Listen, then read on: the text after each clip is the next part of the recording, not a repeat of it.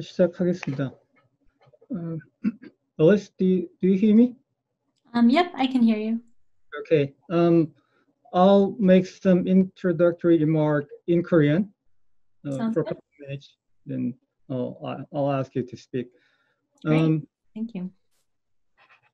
세미나를 시작을 하겠습니다. 어, 그 오늘 세미나 진행을 맡은 서울대학교 고학수라고 합니다. 어, 그 서울대학교 인공지능 정책 이니시어티브 어, 프로그램의 일환으로 이렇게 웨비나를 진행을 하게 되었고요.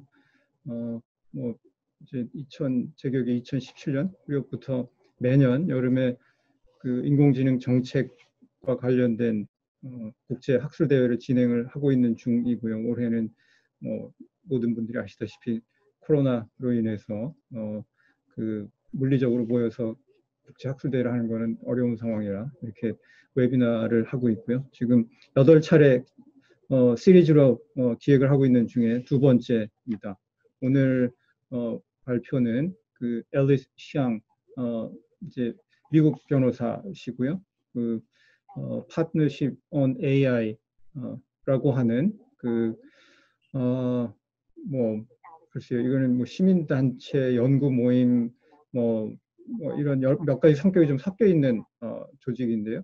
그 미국의 주로 IT 기업들이 펀딩을 해서 어, 이 인공지능 영역과 관련된 여러 가지 사회적, 정책적, 윤리적, 법적 이슈들을 이제 그 연구하는 뭐 그런 조직이 만들어졌습니다. 거기 근무를 하시고요. 아마도 어, 이분이 이제 그 파트너십 온 AI에 관해서 약간은 설명을 하실 것 같고요. 이분이 그 중에서 어, 그 공정성, 투명성, 책임성 뭐 이런 영역을 커버하는 그 팀의 리서치 헤드입니다. 어, 음, 그 연구자로서의 정체성도 가지고 있는 분이고 논문도 실제로 쓰고 계시고 어, 오늘 발표도 아마 논문 내용 의 일부를 말씀을 하실 것 같습니다.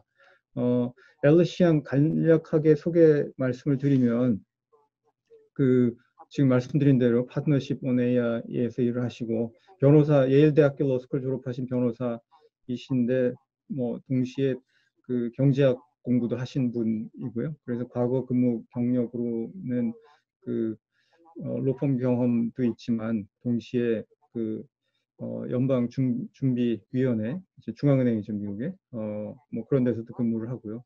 어, 민간 기업에서도 또 근무를 하고 그런 다양한 경험이 있습니다. 어, 그래서 알고리즘이라고 하는 게 실제로 어떤 식으로 작동하는지, 현장에서 어떻게 작동하는지, 이론적으로 또는 법적으로는 어떤 고민을 해야 될 건지 그런 얘기를 하기에 딱 그 좋은 적임자이신 것 같습니다. 어, Alice, uh, yeah, now uh, you can start. Great, thank you. Um, yeah, thank you guys so much for having me today. Um, my name is Alice Xiang, and I'm the head of Fairness, Transparency, and Accountability Research at the Partnership on AI. Next slide.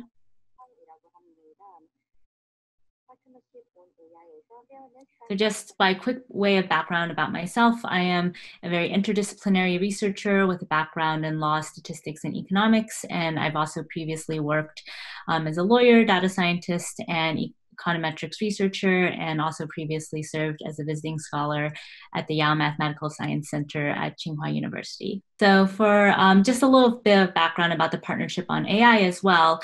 Um, so, we are a multi stakeholder organization that was founded by um, first the US uh, major technology companies, but we are now um, a consortium of over 100 technology companies, um, academic institutions, and nonprofit organized society. And our mission is to bring together diverse voices um, across various sectors, disciplines, and demographics. And so we conduct research at the intersection of AI so that we can help ensure that developments in AI advance positive outcomes for people and society. And in my work at PAI, I am particular lead an interdisciplinary team on fairness, transparency, and accountability issues. Um, and that specifically means for us um, issues of algorithmic fairness, explainable machine learning, um, criminal justice risk assessment tools, and also diversity and inclusion in the field of AI. So first, just to provide an overview of the talk today. So um, today, as I mentioned, I'll be speaking on the intersection of anti-discrimination law and algorithmic fairness, focusing more specifically on US anti-discrimination law since I'm a US lawyer by training. So um, unfortunately, I won't be able to offer insights outside of the US context, but hopefully um, a lot of the conversation that we have today will um, reflect broader um, considerations um, within the legal realm um, beyond just the US context. And um, I'll be focusing on a paper that I have forthcoming called Reconciling Legal and Technical Approaches to Algorithmic Bias. And the key issue that this paper highlights is to what extent can well-meaning algorithm developers use protected class variables to address algorithmic bias in light of existing laws, um, and also what is the legal compatibility of the various technical solutions to algorithmic fairness that have been proposed in the machine learning literature. And today's talk, of course, will not be able to cover the full extent of the paper, so I'll focus just on setting the stage. Next slide. So the overall agenda today will be, um, I'll first focus on what is algorithmic bias and provide a few examples just to motivate this question. And then I'll go more into this key tension. So I'll first talk about the need from a technical perspective to use protected class variables in mitigating algorithmic bias. Um, and then I'll go more into the legal side and some of the jurisprudence um, that might conflict when applied to the algorithmic context. And then finally, I'll talk about one potential solution in terms of reconciling these different approaches, um, specifically the potential role of causal inference or the concept of causality um, when it comes to both these legal and technical approaches. And of course, finally, I would like to leave some time at the end for question and answer. Next slide. So first off, why should we care about algorithmic bias? Next slide. So frankly, um, we want to care about algorithmic bias because in an age of AI, increasingly automated decisions affect high stakes areas of our lives. So it matters whether these algorithmic automated decisions um, are done in a fair and just way. Next slide. So in the US, one example that really motivated a lot of the work in this space um, was this investigative report from um, a journalist organization called ProPublica. And what they found was for a algorithmic risk assessment tool used in the criminal justice space in the US, that um, the tool had twice as high false positive rates for Black Americans as for white Americans. And so this really struck people given that in criminal justice, this is really one of the most high stakes decisions that you can make about a um, human's life. So um, we should be concerned if there's any biases in the tools used there. Um, another prominent example was with Amazon's um, recruiting algorithm. So basically, Amazon um, trained a recruiting algorithm based on its historical data of who was hired at Amazon based on a lot of different resumes. And it turned out that historically women got relatively fewer jobs at Amazon than men did. And so the algorithm learned to penalize resumes that had reference to women. So, for example, it penalized graduates of women's colleges. Um, so in this case, um, Amazon decided to scrap the algorithm and simply not use it, but it did, did raise a lot of interesting questions in terms of the ways in which um, algorithms can inadvertently um, display some biases in past decision making. And then another example, which is quite different than the previous two, is um, within the realm of representational harm. And what that means is we're not talking about allocating a scarce resource to different people, but instead how one group of people is represented compared to another group. So this problem has since been fixed, um, but basically a while back when you searched in Google um, images for CEO, um, what you would see is basically a lot of images of men, predominantly white men, um, and then the first woman that you would see was actually um, not a real woman, it was CEO Barbie. And so this sparked a lot of debate because people asked, well, what is this teaching? young women and also young men in terms of what it means to be a CEO. So then, um, given those motivating examples, how would we define algorithmic bias? So I provide two um, definitions here, given that um, this is a really um, challenging issue that really encompasses a lot of different um, perspectives. So first, um, algorithmic bias is how algorithmic decision-making processes might systematically lead to worse outcomes for certain subpopulations. And you can also think of this as the disparities that emerge due to demographic characteristics or other factors that are problematic from a societal perspective. Next slide. So then, um, given that, why do we care about um, what the law has to say in terms of anti-discrimination law? Why are we talking about reconciling legal and technical approaches? So legal compatibility is important given that if we want to, A, demonstrate evidence of bias, it's important that as we come up with different technical definitions for fairness and we come up with different fairness metrics from an empirical perspective, that these metrics conform with what judges, juries, regulators, or others in the legal and policy spaces would accept as evidence of discrimination or lack thereof. And it's also important, um, given that if we want to actually take steps to mitigate bias, um, we have to ensure that whatever steps we're doing do not um, are not considered discriminatory themselves from a legal perspective. So I've talked a bit now about this idea of protected class variables and this key tension between, on the one hand, from a technical perspective needing to use them, and another hand, um, the law having some concerns about that. So it's important um, to define then what are protected class variables. And in US law, protected classes are groups that are protected by anti-discrimination laws. And so examples of um, such variables would be race, gender, age, disability, national origin, religion. Um, and it's important to note that this doesn't necessarily cover all variables that we might be concerned about. So you might be concerned if an algorithm were discriminating on the basis of socioeconomic class or geography. Um, but protected class variables are the most important when we're talking about this legal compatibility issue. And it's also important to note um, that when we talk about protected class variables, we're not talking about um, specific groups that have been marginalized. Um, when it comes to race and gender, at least in US anti-discrimination law, they're treated symmetrically. So what that means is um, white men can sue for discrimination on the basis of race or sex, you don't need to be a woman, for example, to sue on the basis of gender discrimination or a racial minority to sue on the basis of um, racial discrimination. So why do we need to use protected class variables in order to mitigate algorithmic bias? Um, why, is, why does this create the tension that we're seeing today? Um, so first off, there's this concept um, in the machine learning community called fairness through unawareness. And what this means is simply removing the protected class variables and close proxies from training data. And close proxies are just variables that are highly correlated with the protected class variable. Um, so for example, um, when it comes to race in the US, geography, um, like um, individual zip codes um, is quite highly correlated with race because there is quite a bit of geographic segregation across um, different racial groups in the US. And so if you know someone's zip code, that gives you some information about someone's race. So that makes zip code a proxy for race.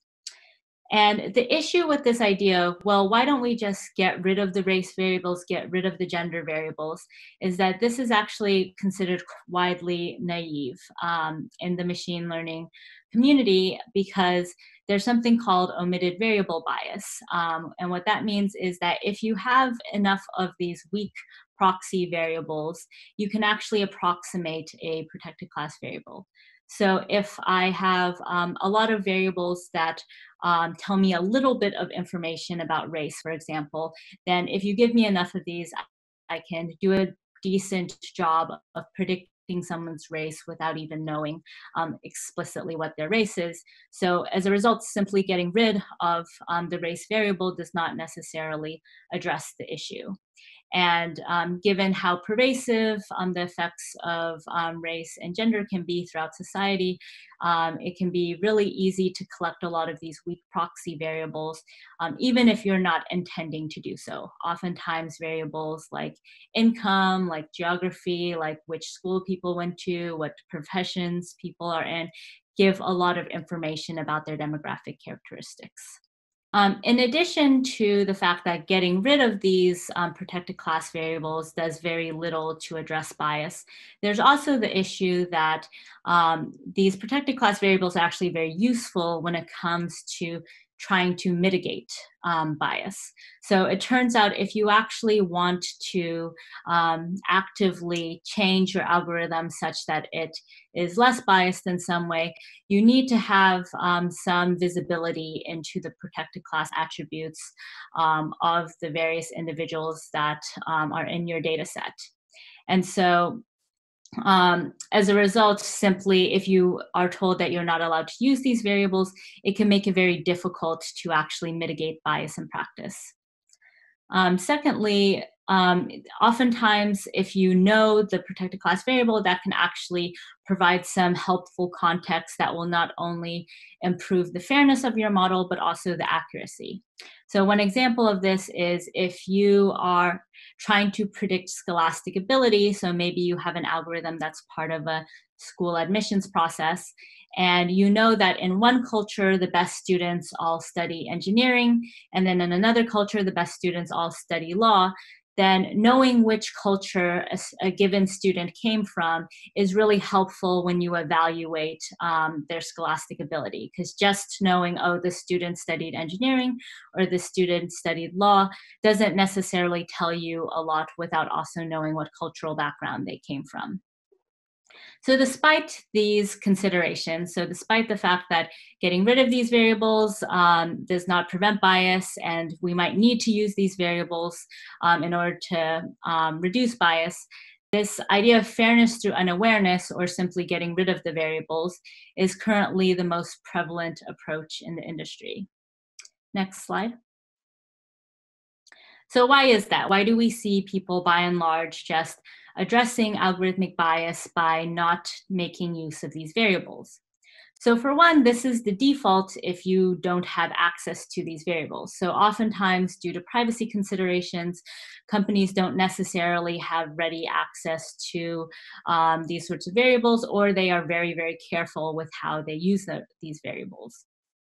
In addition, on the surface at least, the um, the nice thing about this approach is it looks like it is blind and to the protected classes. And folks often analogize fairness through unawareness to blindness in anti-discrimination law as a result of this. And then finally, um, at least recently in the um, US, the Department of Housing and Urban Development proposed a rule for disparate impact, which is a type of anti discrimination law liability that would create a safe harbor for algorithms that do not make use of protected class variables or close proxies. And so, what this means is that there's also some evidence that the government response to algorithmic bias might um, actually discourage people from making use of these protected class variables. And the reason this is such a fraught space, and the reason why I think this is very interesting, even um, just beyond the US context, is this really gets to the heart of a core tension within anti discrimination law um, called anti classification versus anti subordination. So, anti classification is the idea that anti-discrimination law should seek to prevent any sort of classification or treatment that differs on the basis of a protected attribute. On the flip side, anti-subordination is the idea that the law should actually seek to actively dismantle existing hierarchies between protected class groups, even if doing so involves some degree of consciousness of these group classifications. And in recent years, the Supreme Court has increasingly adopted anti-classification stance, um, but this is something that is really a core tension. And if we continue to see this anti-classification stance, it's possible we will be really um, hamstrung in our ability to actually address algorithmic bias. Next. So now um, that that motivation is complete, let's go into the actual jurisprudence. Next slide. So in terms of the relevant um, US laws, so I broke this down by public sector and private sector broadly, but um, the laws in both areas do um, have a lot of cross citations and inform each other. So with for the public sector, the most relevant considerations are the Constitution and equal protection doctrine under the 14th Amendment, um, and most relevant within this is affirmative action doctrine, since affirmative action is one of the very few places in US anti discrimination law where the court has continued to permit some degree of race conscious decision making for remedial purposes. And then on the flip side, for the um, private sector, we have um, anti discrimination statutes. So, most important among these, um, Title VII of the Civil Rights Act. Um, and within this are disparate treatment and disparate impact doctrines. Um, so, I'll walk through very briefly um, these doctrines in the following slides. So, first, affirmative action. Um, so, um, for those who are less familiar with what affirmative action is, basically, affirmative action is the idea of having preferential treatment for groups that have historically faced discrimination. And this, these sorts of policies are usually used in the context of school admissions, employment, or government contracting. Um, this is also known as positive discrimination in the UK, and within the US, this has historically applied to racial minorities and women. So, what are some of the connections then between affirmative action and algorithmic fairness? Um, first off, a lot of the proposals within the technical community of how you might address algorithmic decision making amount to forms of affirmative action. And so, as a result, affirmative action jurisprudence gives us a helpful starting point for starting to evaluate what a legal perspective might be on these different approaches to mitigate algorithmic bias. And then, of course, um, affirmative action is a highly controversial area of law and policy. And so, um, understanding some of those controversies and some of the connections between these two areas can be helpful as we think about um, what might happen in the algorithmic space going forward.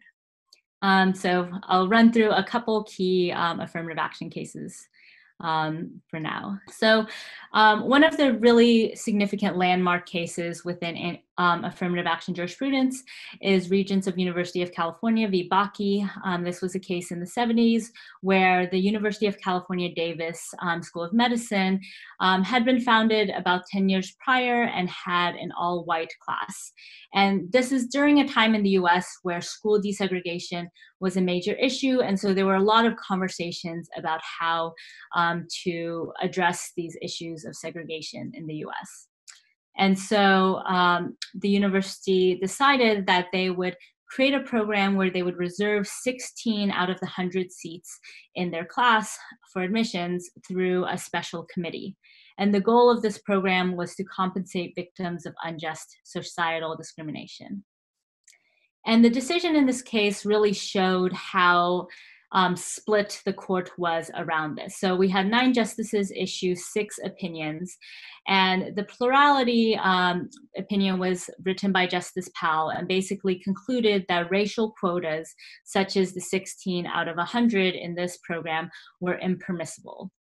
Instead, the court said it's okay to use race of one of many factors. Um, but at the end of the day, your key compelling interest needs to be diversity, not redressing historical discrimination. So you can only use historical discrimination as the motivation for your policy if there is actual evidence of you as a specific school discriminating. And in this case, as I mentioned, the University of California Davis School of Medicine was only around 10 years old when this um, case happened.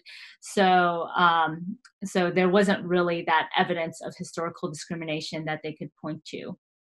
Um, so in terms of connections then with algorithmic fairness, this case creates a few challenges when we're talking about mitigating bias in the algorithmic context.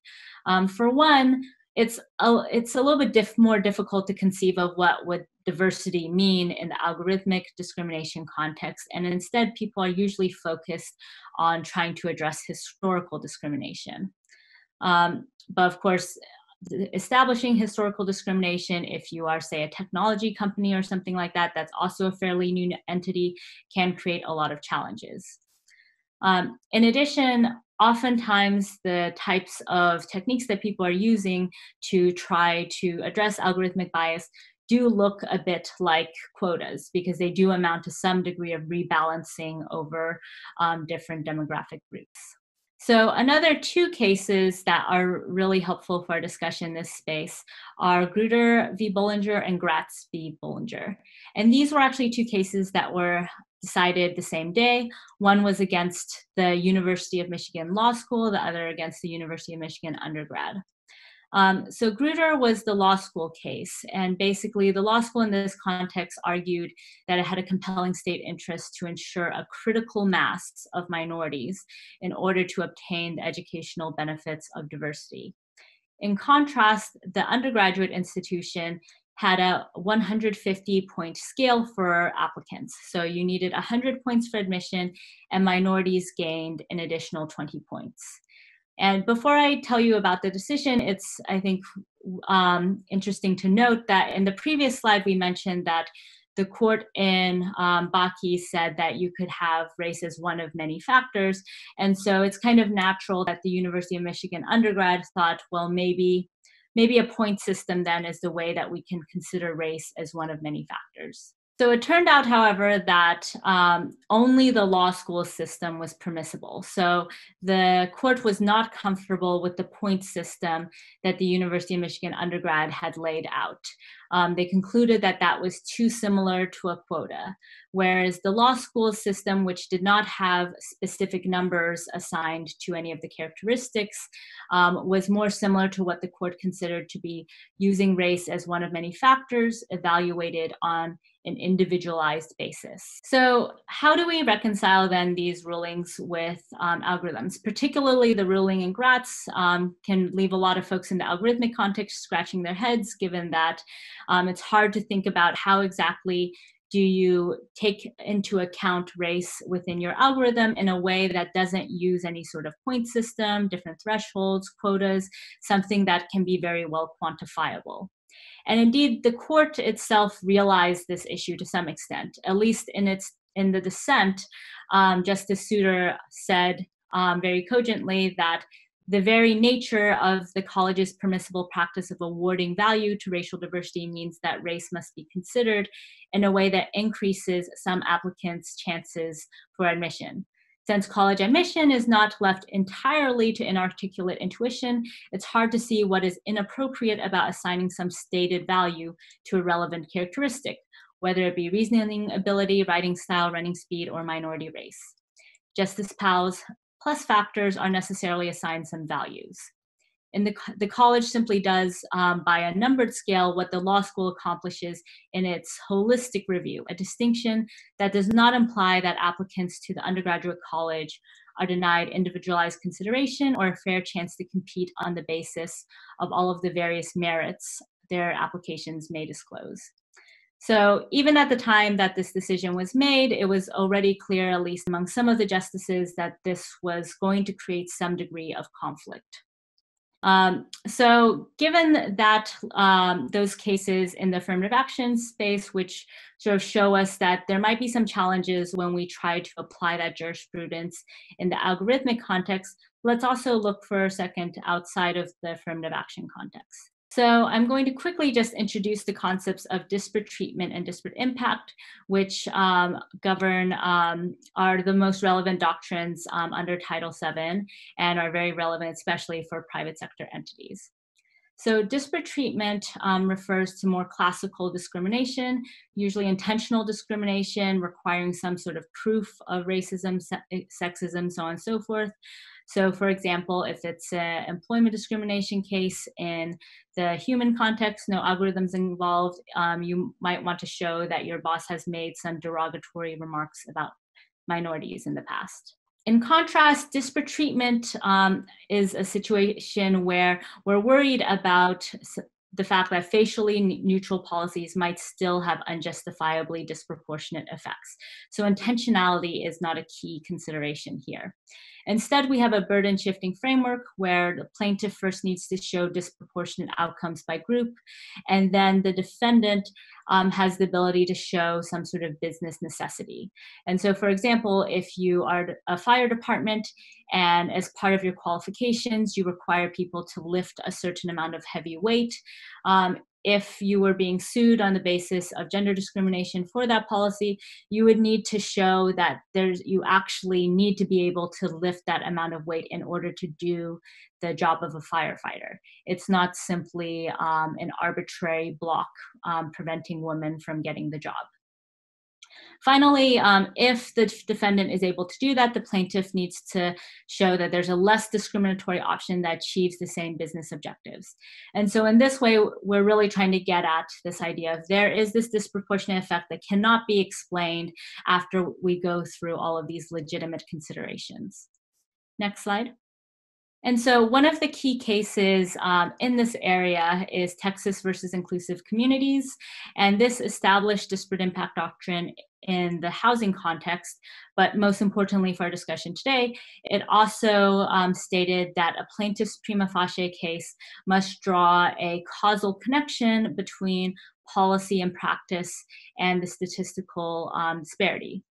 And it's interesting that um, the HUD rule that I, I, mentioned earlier, the Department of Housing and Urban Development's rule that created a safe harbor from disparate impact liability for algorithms that do not make use of protected class variables or close proxies was actually um, based on this case. So that was um, the Department of Housing and Urban Development's attempt to instantiate the decision of this case into um, a specific rule. But interestingly, um, the department's rule really has nothing to do with causality. Um, having the presence of protected class variables or the absence of them really does not tell you anything about causality. Next slide. So why do we care about causality? How is that entering this discussion? So first off, causality is important because from a legal perspective, um, discrimination is generally defined as making a decision because of X, where X is the protected class variable. And so as a result, when we undergo any sort of legal analysis around anti-discrimination liability, we naturally have questions around causality. And so what this means is that judges will ultimately be evaluating causal relationships. So for example, would your model have made the same decision but for an individual's race, gender, so on and so forth? And there are certain benefits to causal approaches that can help us address some of the challenges um, we discussed earlier in um, the in terms of how jurisprudence might not align well in the algorithmic context. So first off, um, causal approaches can allow for distinctions between different types of uses of protected class variables. So for example, are you trying to actually mitigate bias or are you trying to make your algorithm more biased? Um, more specifically than that, are you increasing or decreasing the causal relationship between the protected class variable and your um, algorithm's predictions or decisions? And this is important because um, what we're having right now is a tendency to simply throw out protected class variables due to the concerns that they, the presence of them might create legal liability when what we really need to do is distinguish between good and bad uses of these sorts of variables. Uh, so in addition, um, as I mentioned earlier, protected class variables can create, um, can provide important contextual information as well. And so distinguishing between causation and correlation is thus important because not all correlations with protected class variables are necessarily harmful. So overall takeaways from today's talk, first off, legal compatibility is really key to employing algorithmic bias mitigation techniques in practice. But there is a tension between the need to consider um, protected class variables in order to mitigate bias um, on the one hand, but on the other hand, the law's preference for decision making that's blind or neutral to these attributes, and specifically as we saw in the um, affirmative action context, the preference for um, for approaches that do not quantify in any way the amount of preference given to different groups. So um, the next takeaway is that causality is a key concept in both machine learning and law that can help us distinguish between different uses of protected class variables and can hopefully thus prevent the proliferation of biased algorithms while permitting the use of um, bias mitigation techniques. So that's um, the end of my presentation, and I welcome any um, questions that folks have at this time. And as I mentioned at the top as well, um, these topics are discussed in much greater depth um, in my forthcoming law review article, um, which you can also find currently on SSRN. Thank you. Thank you. Um, 질문 그 채팅창에 올려주시면 되고요. Uh, yeah, thank you very much for the nice presentation. Um, there's one question on uh, the chatting room. There's another. Do, do you do you see it or I I'll read the first one. You can address the first question. Okay, great. Sounds And- good. Um, so the first question is about uh, what kind of uh, data or input data uh, should be used or should not be used. So I'll read the question. Um, is differential treatment based on omitted variables, for example, zip code, legally equivalent to discrimination based on protected class variable? Um, is it legally problematic or ethically problematic? Yeah, great question. Um, so I would say on the legally problematic end, um, it depends a little bit on the court itself and whether they see through that use of the variable like zip code. Um, so it, um, if it's say a disparate treatment um, claim, then there would be some question of motivation within that. Um, and disparate impact, um, there um, given the high correlation there, if a court could potentially ask um, whether essentially this is also creating some disparate effects um, along racial lines. Um, I think at this point, most people in the US do kind of realize to some extent, or I guess most legal scholars, at least in the US, do realize that zip code and race are fairly highly correlated. So, in that sense, um, that's an example where the court would probably be able to see through that. Um, but that said, there's also the consideration in terms of some of the privacy concerns that people have around these variables, and that's a little bit distinct from the anti-discrimination concerns. So, for example, one thing we've seen um, in our research is that a lot of um, companies do, if they aren't able to gain access to data specifically about race, for example, they might use some data about geography or zip code instead. Um, and they consider that to be a little bit safer because there's not really the same privacy protections there. Um, so, uh, putting this aside the anti-discrimination concerns, that's something that is um, at least perceived to be potentially less legally problematic. Um, but to your question about ethically problematic. Um, so one of my concerns in this space is that I think um, the focus on protected class variables and making those um, extremely salient um, in the algorithmic context does risk us um, being too um, too okay with people simply using weak proxies, which can be as detrimental in the algorithmic context as strong proxies, but aren't necessarily seen as being as problematic. And so if we're kind of taking the law aside for a moment and just thinking about the ethics or the actual consequences of a certain algorithmic decision making process, we should be um, as concerned about cases where we have a lot of weak proxies as when we have um, strong proxies or the variable itself. Okay, um, I see a few questions lined up. um, I think that's a good sign. Uh, the next question uh, is about uh, building a model and what kind of data to be used or not to be used.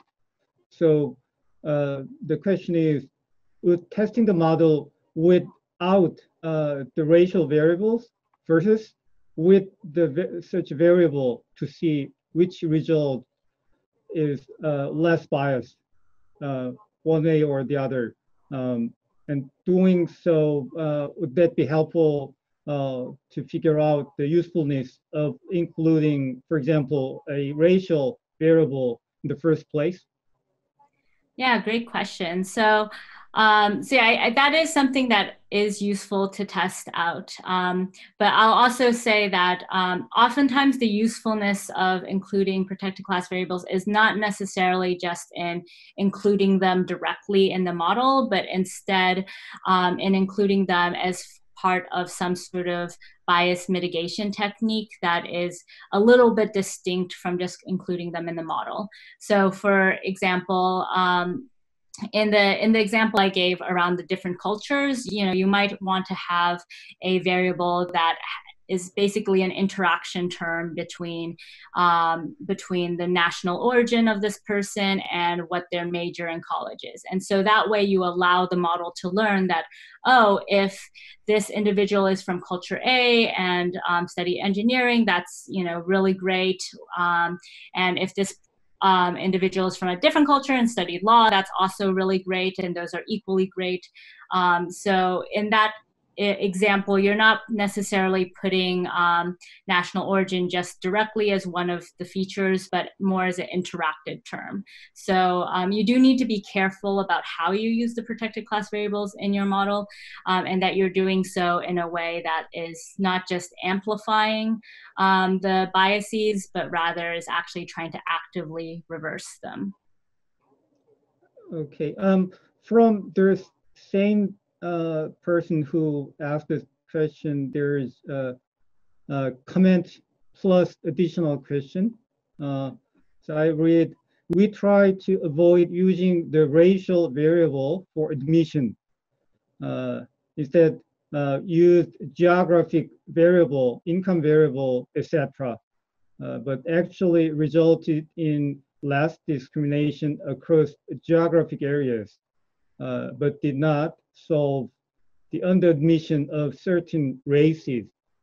Therefore, sometimes the use of uh, racial variables uh, may be necessary for affirmative action, uh, or if we want to similar representation of a given race in a student body. Uh, would this be likely be illegal? So I, I should clarify that. Um, so the reason affirmative action is such an interesting area of jurisprudence is that is one of the few places where it's actually not illegal to um, to consciously take into consideration race. And so, at least for now, um, if you were a school in the United States and you were consciously taking into consideration race rather than geography, um, that would be fine. I mean, you you know, there's a lot of um, cases right now, like Harvard is um, being sued uh, among a lot of other schools um, around their affirmative action policies. So it's possible the jurisprudence might change in the near future.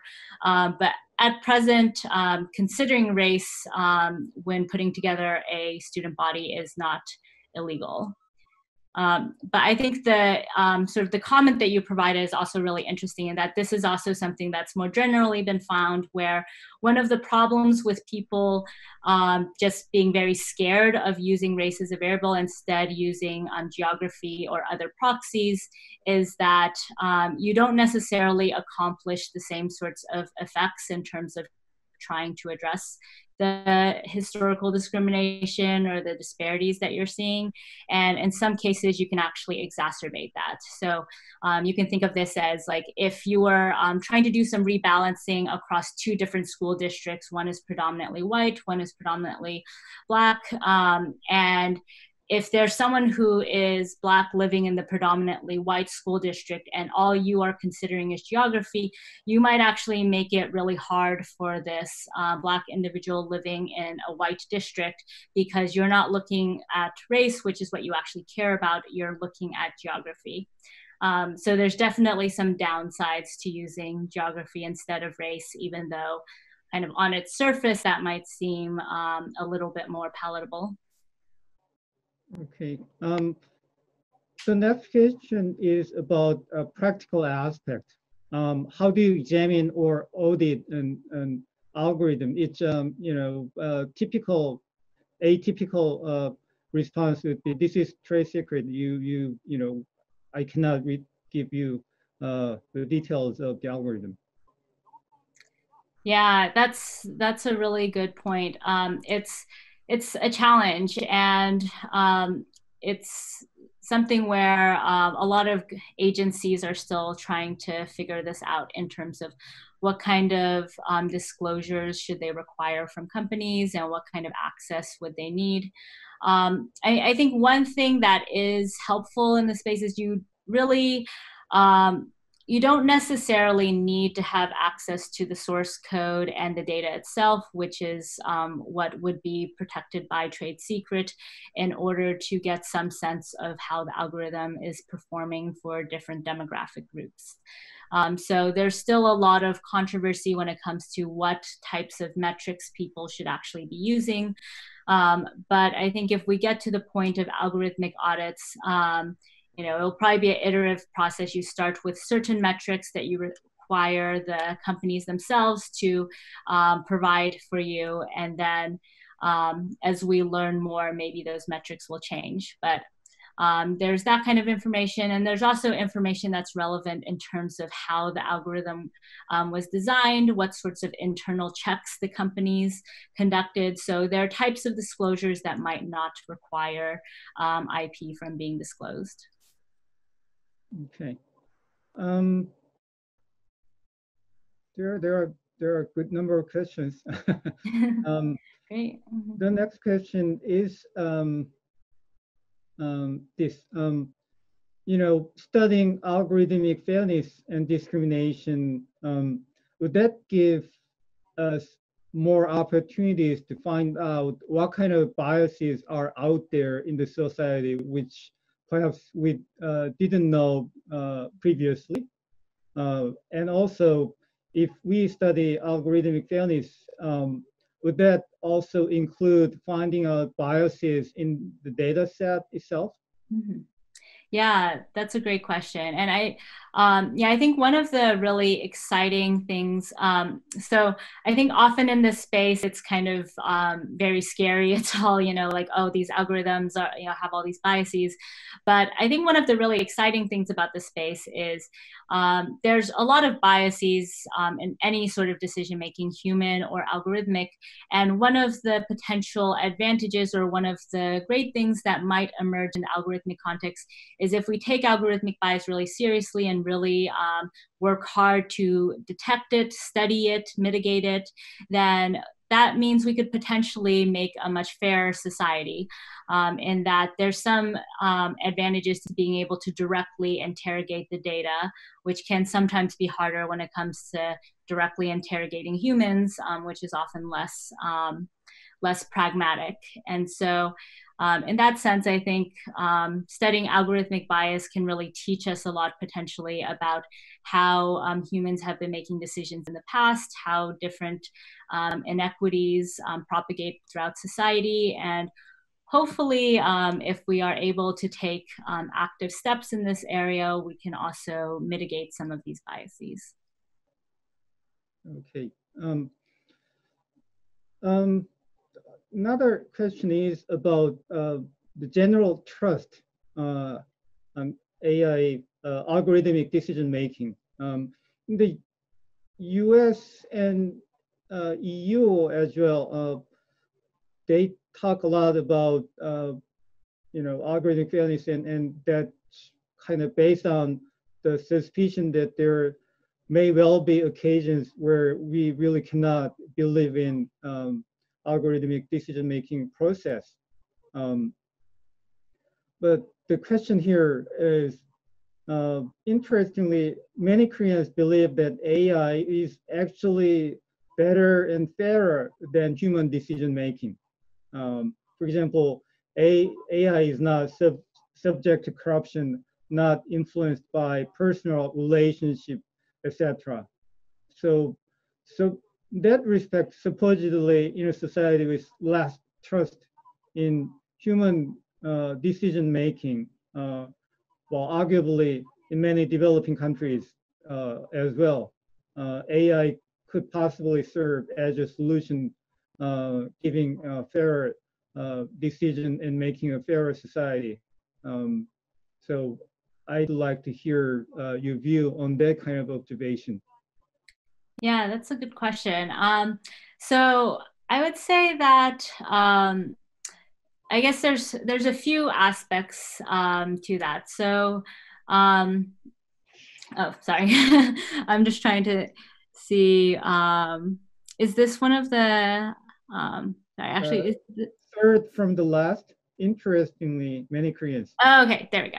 Um, sorry, yeah. So I think it depends on what kind of fairness you're talking about um, first off, because um, I think when when you mention the corruption and personal relationships aspects, that kind of gets a little bit more to procedural fairness questions, which we didn't talk to uh, we didn't talk about today, but still are very very salient in the algorithmic context. So, for example, let's say you know we're doing school admissions again there's like these different scores and such you you still will need to have some human at the end of the day make um, designing the algorithm and then using the algorithmic results so in that sense you still might have some of these concerns around corruption or personal relationships if um, if um, if you don't necessarily have the best um, procedural fairness um, steps put in place as well. Um, and then there's also the issue of um, people often think about algorithms as being very objective because they are trained on data, but it's important to interrogate what kind of data they're trained on. And the reality is that most data reflect the decisions of humans. So, for example, um, when it comes to uh, the admissions example again, if we were to train an algorithm to do school admissions, we'd essentially give them a training data set that is a lot of historical school decisions. So we'll have, you know, maybe someone's like test scores, GPA, um, you know, what kind of classes they took, uh, maybe some demographic attributes, um, and then whether they got admitted or not admitted in the past. And so, um, so if we train an algorithm like that, then any sort of biases that were reflected in how in the past people were admitted into schools would still be reflected to some extent in this new algorithm. So in that sense, there's um, still these same human biases that end up getting um, to be a concern, even when we're talking about the algorithmic decision-making context. Um, and then I think the last point I would just make on that is um, there it's an open question, especially when we talk about algorithmic audits, what the proper benchmark is for algorithmic decision making. So some people argue the benchmark should just be what um, humans are able to do and how biased humans are. And so as long as it's better than a human, then that's good. Um, other people would say that um, what's unique in the algorithmic context um, is that you have such centralization of decision making, and you also have more ability to craft this decision making process to be what you want. So, in that sense, maybe we should hold it to a higher standard because you can actually very empirically measure things like the disparities that it causes. Um, or you can really directly try to examine different counterfactual scenarios with this. So in that case, maybe we should hold this to a higher standard because we have some more control over it. Okay, um, one related question. Um, your talk today was basically based on the U.S. jurisprudence, but I uh, I know you spent quite some time in China and taught a course at Tsinghua University. And I wonder what kind of uh, different or similar reactions there were uh, among the Chinese audience uh, about the general uh, concept and, and, and, jurisprudence and, and maybe a, a policy perspectives related to uh, AI uh, uh, uh, fairness conception? Yeah, so um, so I guess when I was teaching in China, it was to kind of a diverse um, set of students, mostly um, mostly STEM students, and then some policy students. So so no law students. um, so in that sense, the the jurisprudential aspect was interesting, but maybe not the main focus for them. Um, I would say that the over um, the overall reaction that I got was um, it's it's interesting to see how um, in the U.S. Um, algorithmic fairness has really become like one of the major concerns when it comes to people talking about algorithmic governance um, because we've had all these examples, especially in the criminal justice system um, with these risk assessment tools and facial recognition technologies. Um, it's really anytime people talk about law or policy around algorithms, they bring up the issue of bias as a fundamental motivating harm. Um, it was interesting to me um, teaching in China how for the students there that wasn't necessarily something that resonated as much with them. Um, they definitely had more so the perception that algorithms are pretty neutral, um, objective, they're just kind of based on math and data. So um, in that sense, they should just be um, kind of universally better than human decision makers. Um, so I think that was kind of a, a interesting difference. And um, I think, you know, over the course of the class, they kind of, you know, maybe changed their perception a little bit um, about that. Um, but I think it does show also the, the influence of having a few very salient, high profile examples, which we've had many of those at this point in the US that have gotten people really um, concerned about discrimination um, in the algorithmic context and outside of the algorithmic context. Um, but maybe that's been less so um, in some other countries. Okay, uh, another related question. Um, you just said you, you taught a, a, group of STEM students. So I assume you sometimes work with engineers and sometimes work with lawyers. Um, and my observation is engineers tend to focus on, say, uh, substance or uh, try to find measurable metric, and and from there they try to get an optimum. Uh, so they they don't care too much about the process in general, uh, but more about the getting the the best or optimal result. Uh, and the, uh, in contrast, lawyers tend to focus on uh, the process or due process or the procedural aspect. So how do you reconcile? Um, and there, there is a, a question uh, on the chatting uh, room, uh, which is asking, do you have any suggestions on how lawyers can work or coordinate with tech people to achieve legal compatibility, the design, deployment, and use uh, stages? Yeah, yeah, great question. Um, so I would say that um, part of why I think this question of causal inference is so interesting when we're talking about reconciling the legal and technical components is that causal inference is one area where for the STEM community, there's also a very strong need to interrogate more so not just the results, but the actual mechanisms themselves.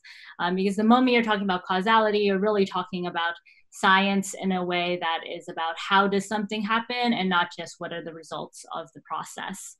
Um, and so, in that sense, I think it can be helpful in opening up some of these questions because if you see a certain disparity and you are required from a legal perspective to say what is the cause of that disparity because we need as lawyers to be able to diagnose is this a disparity that you have any grounds to fix? Uh, do you have any legal responsibility for this, any legal liability for this?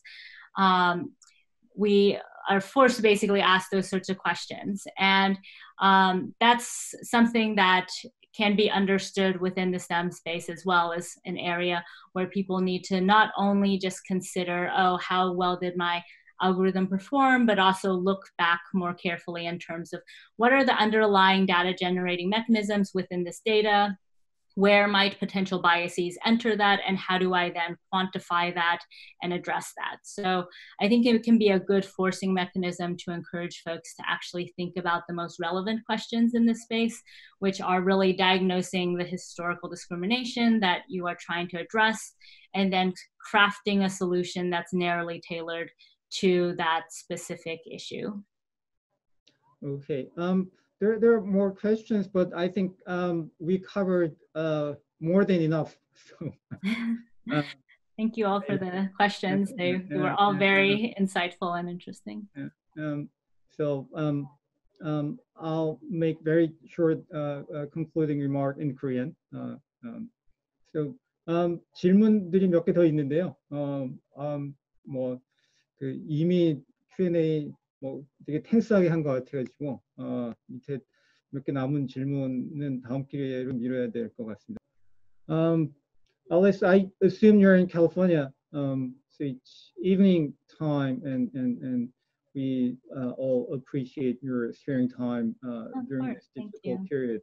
Uh, and I think we learned a lot, um, and and Thank you. uh, it was a great opportunity. So uh, thank you for uh, the excellent presentation and and also uh, good uh, uh, uh, uh, answers for the questions. Uh, Thank you. We'll Thank you finish so for uh, having me. the webinar here. Okay. Bye bye. Bye.